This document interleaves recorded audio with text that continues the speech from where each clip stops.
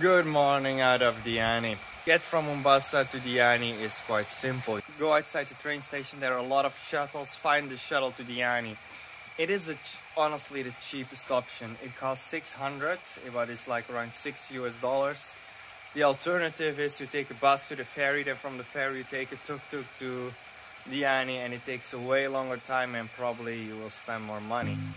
Anyhow, check this beautiful view out, this beautiful place.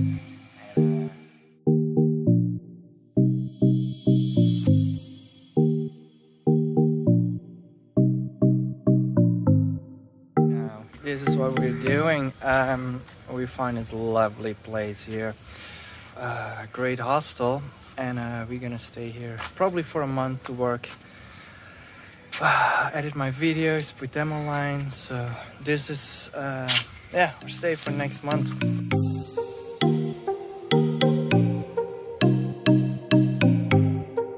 We find a better deal, a better place, a place for a better price. We paid $350 and we can stay there for one month. Amazing! Here is the beach. Looks fucking epic. So we're gonna enjoy our time here.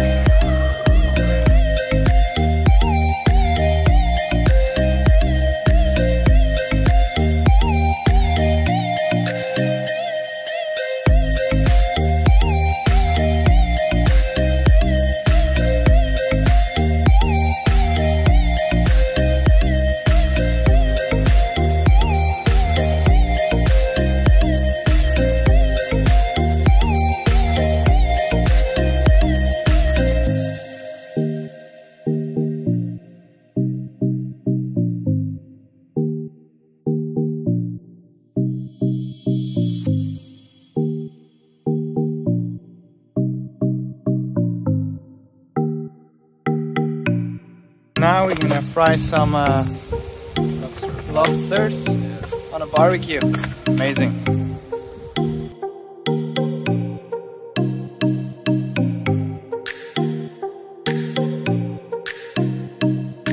And good morning here. We are here now for a couple of days, maybe two weeks. So now it's morning. We're just gonna go to the BG Ocean our friends they have a snorkeling mask so I'm gonna pick up a snorkeling mask and uh, discover what beauty is there in the ocean so but first we're going to a small restaurant there get some breakfast. So let's go.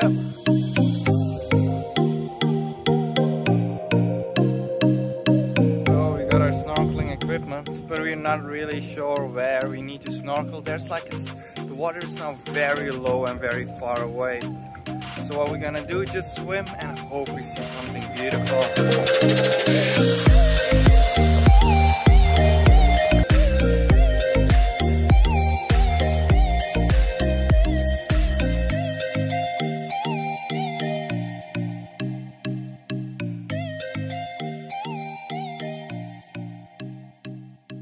So right now we went to the fisherman's market. It is just here on the beach. Ask for fish and uh, they have everything, all kinds of big, small fishes. And now we bought uh, three fishes. We're gonna fry them. And uh, it's about 400 Kenyan shillings, which is around uh, $4. Uh, so, yeah, but we three fishes for it's one kilogram. It's, three fishes is one kilogram, and it's 400 shillings for a kilogram here. Uh, you can also buy calamari and I probably will do it one of the next few days. So one of the things here is paying paying just everywhere. They have M-Pesa. It's like a mobile paying system. But for me it was very hard to figure out because everybody accepts M-Pesa everywhere you go. Even here, it's M-Pesa. You don't need to have cash as long as you have M-Pesa. Now, what is M-Pesa? M-Pesa is like a mobile payment service when you have a SIM card with Safaricom, you, which basically everybody does, you can have M-Pesa and it's very important to use it because it's accepted everywhere. Everywhere they accept M-Pesa. Now, my problem was how do I get money from my credit card to M-Pesa?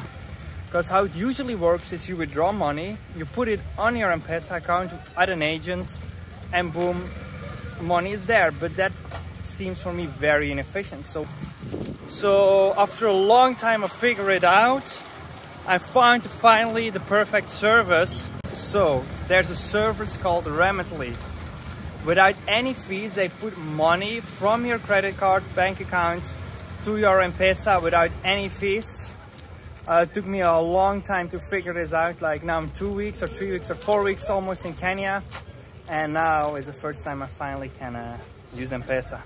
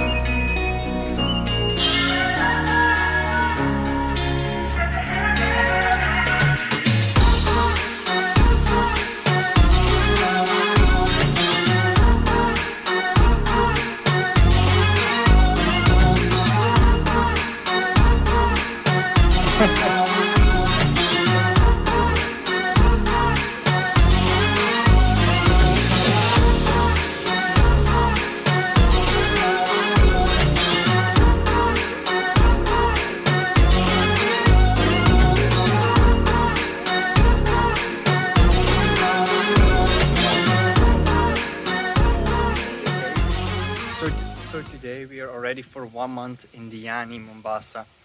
I will stay for another month to work here and in this month I will share with you all the things that Diani has to offer, the life hacks, how to get around and some beautiful places. So first of all we stay here in this beautiful place. It is uh, Vulcano.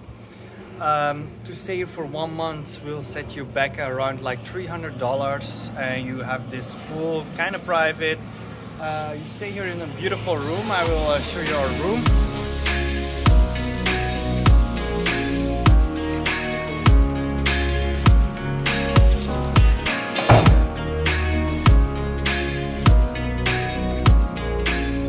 One of the things Diani is famous for is their kite surfing. So there's a lot of kite surfing here going on. That's a very great thing you can do here. If you want to do it for a cheap price, you can go to the local locals. There's a lot of internationals giving kite surfing lessons, but if you go to the local place, um, it's half of the price of what the British or all the internationals are asking for. That is basically instead of paying $60 an hour, you pay here $30 an hour. Okay, so we're gonna take a tuk-tuk here and, and the tuk-tuk price is 50 shillings. And sometimes some drivers, because of the color of your skin, they try to rip you off. And they say like, oh yeah, but this is not the Muzungu price. What lit literally means, this is not the price we charge for white people, which is super racist. Anyway, don't let you it rip you off. Pay 50. Here, anywhere you go in this area, how long or short the distance is, it's 50 uh, for each person. 50 shillings, which is around 50 cents. So here on the side of the road now, gonna take a tuk-tuk, gonna stop here, perfect. Should be 15 shillings and we're gonna go to the forest now.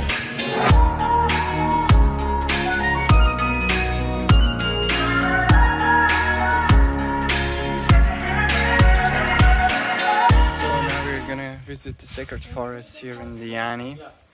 One thing about actually to go to off-road for the tuk-tuk. Just figured that out.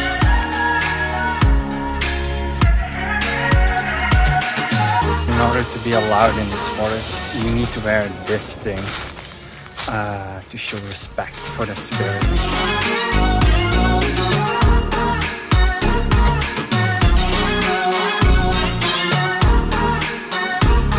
And this forest is also filled with a lot of coral because the Indian Ocean used to be all run over this forest and like you can see all corals here So the ocean used to be here, which is pretty cool, I'd say.